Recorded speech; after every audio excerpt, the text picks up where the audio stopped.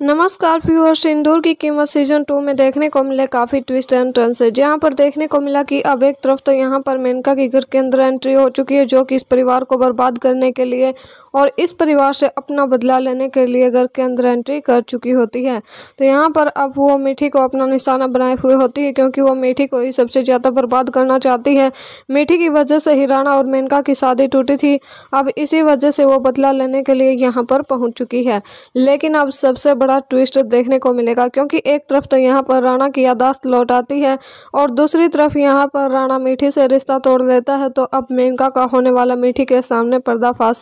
क्योंकि अब मेनका की सच्चाई आने वाली है मीठी के सामने, मीठी को पता चलने वाला है कि अब तक जो कुछ भी उसके साथ हुआ, सब कुछ किया मेनका ने। तो यहाँ पर अब मीठी करेगी मेनका का पर्दाफाश